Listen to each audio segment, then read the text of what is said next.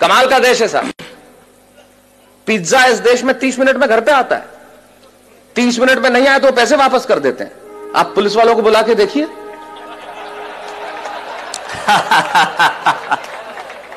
ये वो देश है जहाँ पे आठ परसेंट में आपको कार का लोन मिलता है और बारह परसेंट एजुकेशन लोन के देने पड़ते हैं। वाह वाह वाह वाह।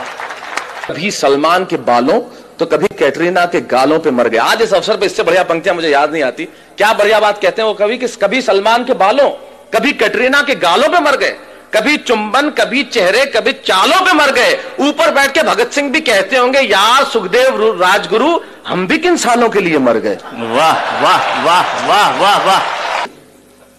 अमेरिका में एक प्रांत है टेक्सास और वहाँ एक शहर है ह्यूस्टन। कुछ लोग हाँ भर रहे हैं। इससे यह ज़ाहिर नहीं हो जाता कि उन्होंने देखा है, और इससे यह भी ज़ाहिर नहीं हो जाता कि उन्हें पता है। इससे यह ज़ाहिर होता है कि आदमी समझदार है, और सामने वाले को यह जताना जानता है कि मैं जानता हूँ। तो टेक्सस में ह्यूस्टन शहर में जब मैं काव्य पाठ कर रहा था, और काव्य पाठ करने के बाद जब मैं बैठा तो बैरागीदा जैसे लोग मिलते हैं, आके मिले, और कहने लगे, माइक पे खड़े के बहुत चिल्लाते हो कि हमारा हिंदुस्तान ऐसा है, हमारा मुल्क ऐसा है, हमारा देश ऐसा है, हमारा देश वैसा है। आखिर तुम्हारे देश में रखा क्या है? यकीन मानिए, मेरे मन को बहुत चोट पहुँची, बहुत पीड़ा हुई। मेरी जगह आप होते तो आपको भी चोट पहुँचती, बहुत पीड़ा होती। लेकिन मेरा दर्द सुनना साहब, मुझे चोट इसलिए नहीं पहुँची कि उसने मुझे ये कहा कि तुम्हारे मुल्क में क्या रखा है। मुझे पीड़ा इसलिए हुई कि कहने वाला लड़का खुद एक हिंदुस्तानी था। जो सारी उम्र यहाँ पला, यहाँ बड़ा, इसकी माटी में राज इसकी शिराओं में, हिंदुस्तानी पिता का रक्त और जिसकी धमनियों में हिंदुस्तानी माँ का दूध बहता हो, वो किसी दूसरे मुल्क में जाके अपने ही मुल्क वाले से ये कहे, एक हिंदुस्तानी जब दूसरे हिंदुस्तानी से ये कहे कि तेरे हिंदुस्तान में क्या रखा है तो चोट पहुँचना स्वाभाविक था। तब मुझे महाकवि कन्हैयालाल सेठिया जी की एक कहानी याद आई और उस कहानी को मैंने कविता की आत्मा बनाया। क्यों मुझे पीड़ा पहुँची? क्यों मुझे कविता लिखनी पड़ी? कन्हैयालाल जी लिखते हैं कि लोहा और सोना आपस में बात कर रहे थे। तो लोहे ने सोने से सवाल किया कि यार तू सोना है, मैं लोहा हूँ। आपस में बातचीत शुरू हो गई। तो सोना लोहे को कहने लगा कि यार लोहार तुझे बनाने के पहले ठोकता पीटता है, सोनार मुझे बनाने के पहले ठोकता आप पढ़े लिखे लोग आग में तपा के ठोका जाता है।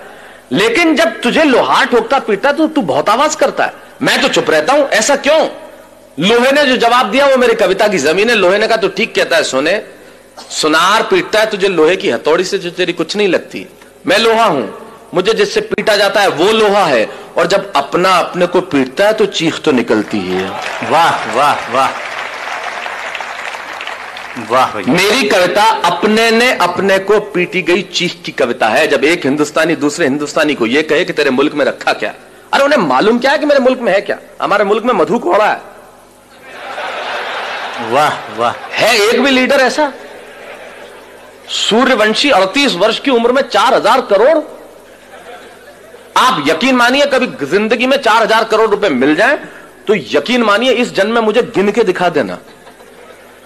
आप गिन नहीं सकते। ये ये हिंदुस्तान। ये ये हमारा देश है। हमारे यहाँ कमाल की चीज़ है। हमारे मुल्क में क्या रखा है? बहुत ज़बरदस्त, जैसे आपका इंदौर का ट्रैफ़िक। मैं अभी एयरपोर्ट से आ रहा, राजवाड़ा के आगे, मेरी कार के आगे आदमी हाथ साइकिल पे यूँ किया, फिर यूँ कर दिया। मैंने कहा, इसका क्या मतलब? बोले, पहले मुड़ना था, फिर कैंसिल कर दिया।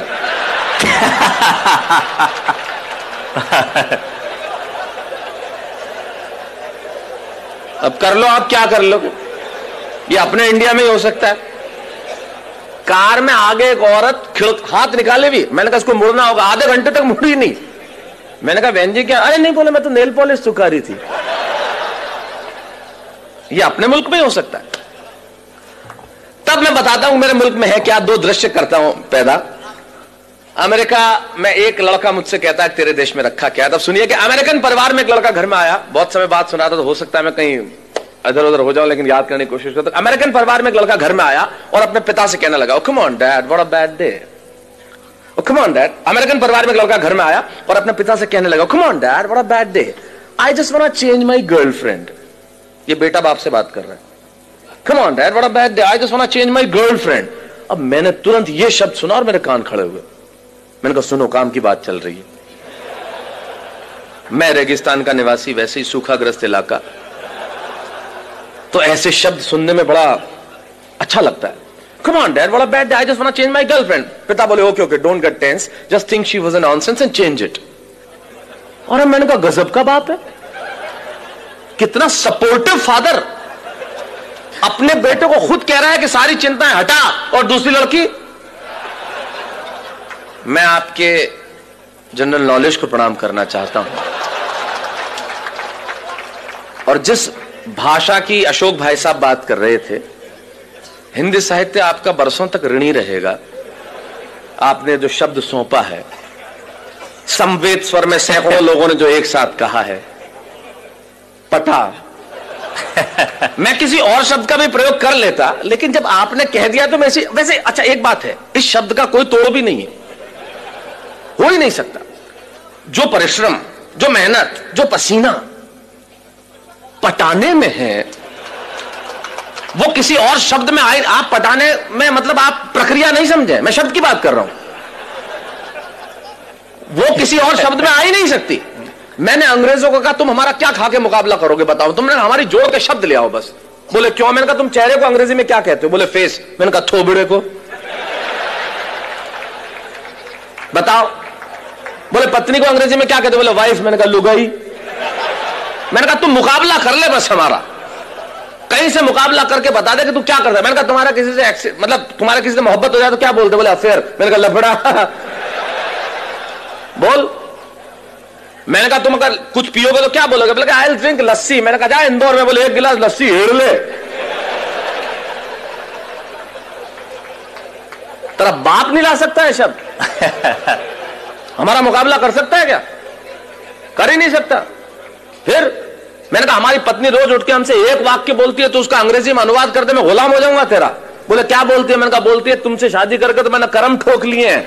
मैंने कहा ला करम और ठोक तेरा बाप अंग्रेज़ी में नहीं ला सकता करम और ठोक। मैं चाहता हूँ हमारी हिंदी भाषा के सम्मान में एक बार जो अद्भुत भाषा वाह है वाह वाह वाह वाह वाह। स्वागत है स्वागत है स्वागत है। कर ले कोई मुकाबला हमारा क्या करेगा? बोले पत्नियाँ ऐसे बोलती है मैंने कहा इससे ज़्यादा बोलती हैं। मैं अपनी पत्नी को गोवा घुमाने के लिए ले गया। तो कहीं था नहीं, चर्च में ले गए, उसने श्रद्धा के मारे ईसा मसीह के पाँव छू लिए। मैंने कहा, तू मेरे तो नहीं छूती, बोले, तू भी लटक जा। मैंने कहा, तू तो अनुवाद करके बता दे इसका। हमारी ट्रकों के पीछे लिखा रहता है, ट्रक नहीं है मेरे, जिगर का फूल है और माल उतना ही भरूँगा जितना गवर्नमेंट का रूल है। मैंने कहा, कर जिगर के फूल का ट्रांसलेशन। क्या लिखेगा, फ्लावर ऑफ़ लिवर? और मैंने कहा, तुम्हारी भाषा का जो हम इस्तेमाल करते हैं वो तो किसी का बाप नहीं कर सकता। मैंने कहा, इंदौर, मैं इंदौर इतना आता हूँ कि मैं तो लगभग इंदौर मेरा बहुत प्रिय शहर है। और मैं बता दूँ, मुझे इतना मज़ा आता है, यहाँ की भाषा कमाल की है साहब मेरा एक मित्र अपने ही मित्र के घर गया तो उधर से निकला वापस मतलब किधर गए बोले, यार, मैं इधर से निकल रहा था। मैंने सोचा तुम तो कहीं बाहर गए हुए तो सोचा भाभी जी को टच करता चलूँ।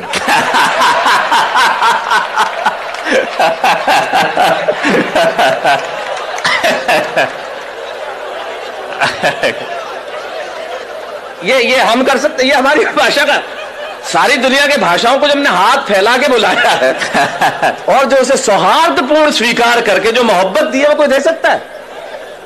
तो ये तो कमाल है। तो मैंने कहा कमाल का बाप है। खुद ही कह रहा है सारी चिंता हटा मैंने कहा खुदा मुझको भी ये अमेरिका भेज देता तो तेरा क्या चाहता खुलेआम चिंताएँ हटाते मज़े से लड़कियाँ घुमाते वरना हिंदुस्तान में हमारे पिताजी। वो सुबह दोपहर शाम तीन बार तो इसीलिए कूटते हैं कि बताना होता है मैं तेरा बाप हूँ। ये इंडियन बाप इस मामले में बहुत जालिम होता है। उसे सिर्फ़ कूटने का बहाना चाहिए। घर में निकर पहन के क्यों बैठा है? कूट दिया। पैंट पहन के बैठा है, फिर ठोक दिया। नई पैंट। कुछ नहीं पहना तो फूट ठोक नहीं था फिर तो।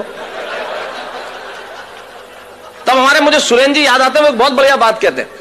सुरेन जी कहते हैं कि जितने एनआरआई मतलब अमेरिका में आपको मालूम बच्चों को अगर आप पीट दो तो नाइन वन वन पे कॉल करके तुरंत पुलिस, आप बच्चों को पीट नहीं सकते। पीटते ही बाप गिरफ़्तार। एक हिंदुस्तानी बाप ने ठोक दिया, छोरे ने नाइन वन वन पे फ़ोन किया, बुला ली, पुलिस गिरफ़्तार हुआ। जैसे ही जेल से छूटा बाप, तीसरे ही दिन इंडिया की टिकट कराई, बेटे के साथ। और दिल्ली एयरपोर्ट पे उतरते ही। नहीं, इससे ये ज़ाहिर नहीं होता कि इससे यह ज़ाहिर होता है कि एनआरआई हर साल इंडिया आते क्यों। वाह वाह वाह तो मैंने कहा, यार, खुदा मुझको भी अमेरिका भेज देता तो तेरा क्या जाता? ये देखिए, अलग किस्म की देशभक्ति है जो मैं प्रस्तुत कर रहा हूँ। मैं आया था जब अशोक जी एक बहुत बढ़िया बात कर रहे थे कि के कवियों ने एक इंच ज़मीन भी नहीं छोड़ी जहाँ झंडा नहीं गाड़ा। उनकी देशभक्ति थोड़ी अलग किस्म की होती है। अच्छा वो झंडा गड़ता पाकिस्तान पे ही है। चाहे वो रावलपिंडी हो, चाहे लाहौर हो, चाहे कराची हो। मैंने कहा, आजकल चाइना बहुत बदमाशी कर रहा है, उधर क्यों नहीं गाड़ते? तो यार उधर के बोले, शहरों के नाम ही याद नहीं है, गाड़े तो गाड़े बढ़िया है बढ़िया है। वाह वाह वाह। अच्छा एक आध शहर का नाम याद हो गया तो उसमें तालियाँ नहीं बजती। बोले, अब के तिरंगा फहराएँगे, हम गोंगजाऊ पर तो गोंगजाऊ वो मज़ा नहीं देता ना जो लाहौर देता है। तो ये ये अलग किस्म की देशभक्ति। तो मैंने कहा, खुदा मुझको भी अमेरिका भेज देता तो तेरा क्या जाता? खुले आम मज़े से लड़कियाँ घुमाते, मज़े से इधर उधर घुमाते, वरना हिंदुस्तान में हमारे पिताजी, उन्हें तो भगवान बचाए साहब। मुझे भी अमेरिका भेज देता तो मज़े से ज़िंदगी की रंगी नहीं उठा अच्छा दूसरे अमेरिकन परिवार का और तो और भी दमदार एक लड़की आई और अपने माँ से कहने लगी come on mom I just want you know I just want live with that guy whom I living with for two years मैंने तुरंत अनुवाद किया। मैंने कहा, ये कह रही है कि उस लड़के के साथ नहीं रहूँगी, जिसके साथ दो साल से रह रही थी अकेली, वो भी बिना शादी के। छह फुट का छोरा नहीं, कोई सहेली। अपने यहाँ तो पिक्चर में ऐसे डायलॉग आ जाए तो लाइट चली जाती है। और ये देश कितना एडवांस है? हम इनसे कितना पीछे है? कितना नीचे मुझे भी अमेरिका आ जाना चाहिए और ज़िंदगी के मज़े उठाना चाहिए। अब यहाँ से वो बात शुरू करता हूँ जिसके लिए कविता लिखी। मुझे भी अमेरिका आ जाना चाहिए और ज़िंदगी के मज़े उठाना चाहिए। ये बात मैंने वहाँ रहने वाले एक बुज़ुर्ग जोड़े को बताई। तो उन्होंने बहुत धीरे से मेरा कंधा थपथपाया। ये बात कि मुझे भी अमेरिका आ जाना चाहिए और ज़िंदगी के मज़े उठाना चाहिए ये ये बात मैंने वहाँ एक रहने वाले बुज़ुर्ग जोड़े को सुनाया। तो उन्होंने बहुत धीरे से मेरा कंधा थपथपाया और कहने लगे बेटा ये बातें ये रोशनी ये चमक ये दमक लगती बहुत सच्ची हैं और लगती भी खूब अच्छी है। अरे तुम्हें क्या मालूम ऊपर से हँसते हम भीतर कितना पिसते हैं इन आँखों से आँसू रिश्ते हैं। अरे तुम्हारे मुल्क में और कुछ नहीं होगा पर वहाँ सच्चे रिश्ते हैं। वाह वाह वाह वाह। बहुत अच्छा बहुत अच्छा। तुम्हारे मुल्क में वहाँ कुछ नहीं होगा पर ये रिश्ते हमारे मुल्क में ही हो सकते हैं मित्रों। ये रिश्ते हमारे मुल्क में ही हो सकते हैं। ये जो सम्मान की परंपरा बची है वो इसी देश में बाकी रह गई है। तब कहता हूँ कि तुम्हारे मुल्क में और कुछ नहीं होगा पर वहाँ सच्चे रिश्ते हैं। अरे वहाँ बेटा शाम तक घर नहीं लौटे तो पिता को खाना नहीं भाता। और अगली पंक्ति में बात कितनी छोटी लेकिन तर्क कितना बड़ा कि वहाँ बेटा शाम तक घर नहीं लौटे तो पिता को खाना नहीं भाता। और इतनी तमीज तो है कि छोटा छिप जाएगा लेकिन बड़े के सामने सिगरेट नहीं पी पाता। इतनी तमीज तो है। कि छोटा छिप जाएगा, लेकिन बड़े के सामने सिगरेट नहीं पी पाता। और बहन बहन जब विदा होती है ना तो आँखों में आँसू सच्चे होते हैं और घर घर में पाँव छूने वाले छोटे बच्चे होते हैं। मित्रों, यकीन मानिए, एक बात इन कवियों की उपस्थिति में कहना चाहता हूँ, जो चीज़ हमारे पास है, शायद उसके होने का एहसास हमारे पास नहीं है। मैं एहसास कराने के लिए आया हूँ कि हमारे पास क्या है जो दुनिया के पास हो नहीं सकता।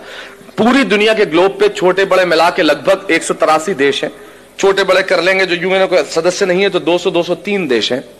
बैरागीदा अशोक जी जिनकी कविताएँ सारी दुनिया में गूंजी है। एक कवि होने के नाते एक अभिनेता होने के नाते सारी दुनिया में जाता हूँ और सारी दुनिया के देखने के बाद इनकी उपस्थिति में एक बात दावे से कहता हूँ पूरी दुनिया के ग्लोब पे होंगे 203 देश साहब। लेकिन सिर्फ़ एक देश ऐसा है जहाँ बच्चे माँ बाप के पाँव जहाँ बच्चे माँ बाप के पाँव छूते हैं वो देश हिंदुस्तान है दूसरा कोई देश नहीं है। तब कहना चाहता हूँ। ये इसी मुल्क में बचा है। तब कहना चाहता हूँ विदा होती है ना तो आँखों में आँसू सच्चे होते हैं और घर घर में पाँव छूने वाले छोटे बच्चे होते हैं। ये बात सुन के मैं सोचने लगा कि बात में दोस्त दम है। हम हम तो सिर्फ़ हम हैं। अरे क्या नहीं है मेरे मुल्क में? भले आँखों में धुआँ और चेहरों पे गुबार है, दिल्ली में ग्लूली लंगड़ी सरकार है, जेब में कुछ पैसा उधार है, न चमक है, न दमक है, न रोशनी है, न बिल्डिंग है, न कार है। मैं सारी चीज़ें स्वीकार करता हूँ कि मेरे देश के पास नहीं है।